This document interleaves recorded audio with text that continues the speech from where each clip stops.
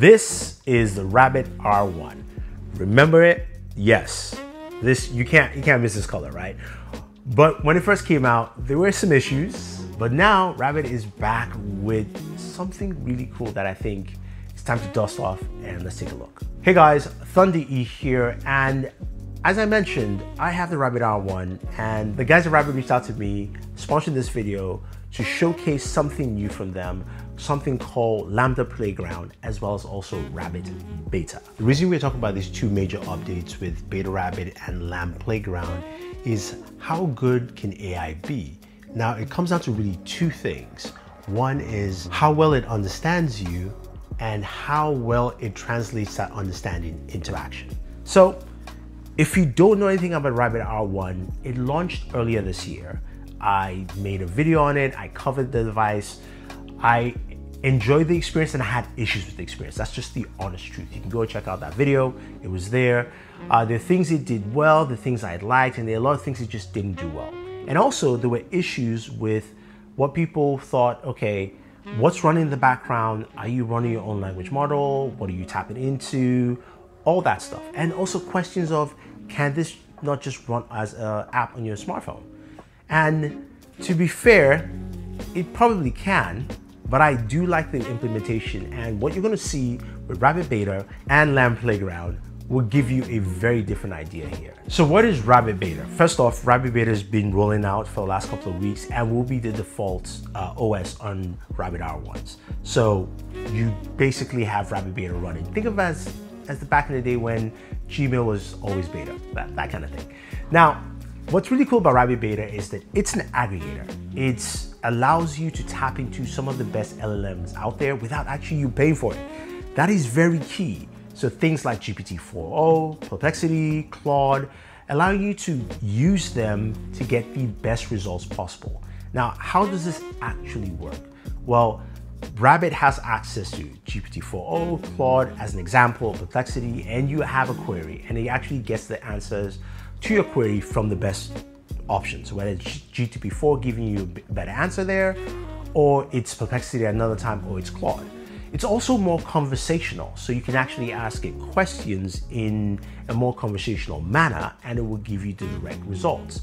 So think of it as an AI that you can actually have as a personal assistant or maybe even a task rabbit to do your tasks for you. All right, so let's take a look at an example. Rabbit, find me five TVs, OLED, uh, priced between 500 and 2000 and rank them from best TV to worst. So it might take some time.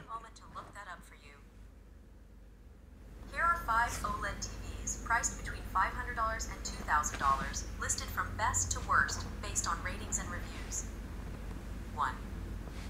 LG C3 Series OLED EVO 4K UHD Smart 2. LG C2 Series OLED. So it's going to go through all that. It will list the TVs and also all those answers go into the rabbit hole, your journal, so you can actually access them there later. But what's the fun thing is that I can continue that conversation I just had by also asking, so where can I buy the first TV on that list? As you notice, I didn't give an indication what TV that was. Give me a moment to look that up for you. Searching for buy LG C3 Series OLED EVO 4K UHD Smart TV. Now, that was the first TV mentioned on my list. So it understands that we're still having the conversation based on what I actually said. Some options for purchasing the LG C3 Series OLED EVO 4K UHD Smart TV. 1. Best Buy. Always Best Buy. 1000 short to 99.99. So as you can see, it's got a couple of options. And again, that is in your rabbit hole, the journals there, it's updated, giving you a couple options. So I do love the conversational aspect about it and you basically finding what you're looking for. Let's take a harder one, something that hits home more recently. Where can I buy a PS5 Pro 30th anniversary edition for less than $5,000? this this was hard to find. Very difficult. Searching for buy PS5 Pro 30th Anniversary Edition under 5000 Finding a PlayStation 5 Pro 30th Anniversary Edition for less than $5,000 can be challenging due to high demand and scalping. Here are some options you might consider. 1. So it did give me options, but it also sourced from different websites uh, who listed different prices, like PC Mag and things like that. But I could also go, can we just find the device on eBay and give me five options? Again, I'm not stating that it's the PS5 Pro. I just said the device. Again, going back to the former conversation. So we'll see how well it actually goes to connect back to what I was looking for. Searching for PS5 Pro 30th Anniversary Edition site, eBay.com. Are five options for purchasing the PlayStation 5 Pro 30th Anniversary Edition on eBay. 1. PlayStation 5 Pro Console 30th Anniversary PS5 Limited Edition, price $2,899. 2. PlayStation 5 Pro Console 30th Anniversary Limited Edition PS5 Bundle price $50,000. Ah, oh God. You see how easy it was to find the things I'm looking for and also doing that kind of search. Now, you can also use it for just conversational searches.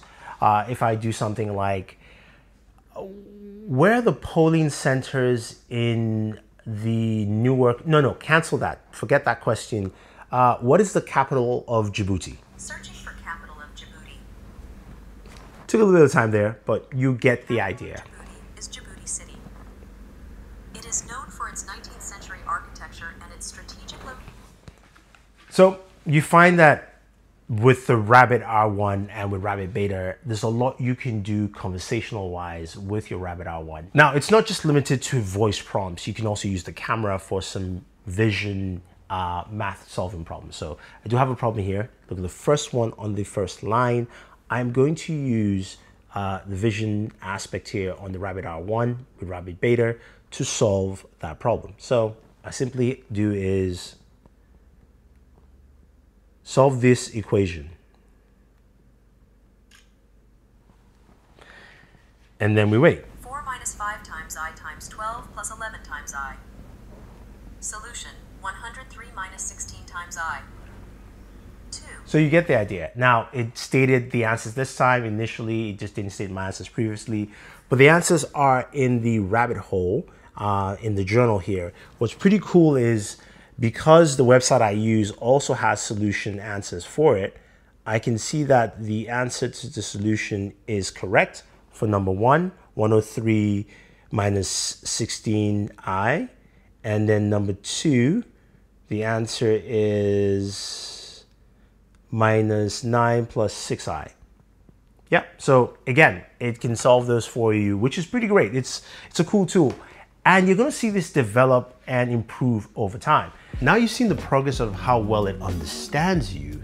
Let's move to that part where it now takes action to that understanding. Let's talk about LAM Playground. Now, LAM Playground is going to be launching October 1st, and this will be accessed through Rabbit Hole. What you can actually do there with LAM Playground is access a more advanced AI that handles conversations much better and is quite in tune, especially when it's helping you search to find and also get things you wanted to do. So I got to try a demo with the CEO of Rabbit, and uh, I was able to ask it a question where he typed it out. I said, "Look, find me the best mirrorless camera in 2024, uh, and uh, on Reddit, purchase it at Best Buy." And if it's not available at Best Buy, find it somewhere else. I could have stayed at B&H Photo if I wanted to, or somewhere else, but I did that. Now, what you notice is that it starts going through the query steps and starts looking for what it considers the best camera, selects it, goes straight to Best Buy, and what it will do is will select the camera and it will actually put it into your cart. Now you're going, does it have my account? No, it does not. Um, it doesn't sign into any account. Uh, if you already signed in, then it's fine. It basically will just dump it to the cart that's available. But it was it will basically dump it to a cart and then you can sign in and make the final purchase, which is pretty cool and great. So think of it from where we are with uh, Beta Rabbit, where I can access to search for things for me, but it can't really take it anywhere, right? It's just give me a repository of the searches. With uh, LAM Playground, that takes that extension to where I want to. So I can imagine in the future, I basically see something I like, right? I'm walking down the street. I can basically just press and hold on the camera and say, find this for me, buy, and buy it right now, you know? And it would take it to my cart and I just have to basically, you know, push the purchase button whenever I want to. Or I can tell it like, hey, um, add a pair of socks to my Amazon cart, you know, or something like that, um, which is nice and unique. Now, what it may sound very simple, but the if you have to understand the different query steps it has to go to to, to find what you're looking for, find the right locations, move the product to that location, uh, go through all those steps is very, very impressive. And it's something that they hope to expand on and improve and also, you know, get your input, jump in, play around with it and see how it is. So to sum it up, Rabbit had a rocky start. They did. I mean, rocky can be a, a nice way to put it, but they have not let back. They have not stopped improving. They haven't stopped adding more for the user. Uh, Rabbit Beta is a much great improvement in the usability of Rabbit R1. LAM Playground looks really fun to use, especially if you want to have the ability to search for things without you going for it. I wish I could have used this in some fashion to get that PS5 Pro 30th anniversary because it would have made so much of a difference. But you get the idea here on what they're trying to do. And I commend them for not stopping, uh, which is a really good thing to try and improve, keep the product going on. But to me, one of the biggest things I've taken away from actually using Rabbit Beta is that I'm getting the best of all the different LLMs out there, being GPT-4, Claude or Perplexity without paying for them, and I'm getting the best answer results through the Rabbit R1. So if you're a Rabbit R1 user, update to latest software and also check out LAM Playground. I think it's gonna be fun and exciting. If you have any questions, leave them down below. I'll be sure to pass it on to the team and let them know what you guys think. So this is Thunder E saying thank you and always enjoy your entertainment.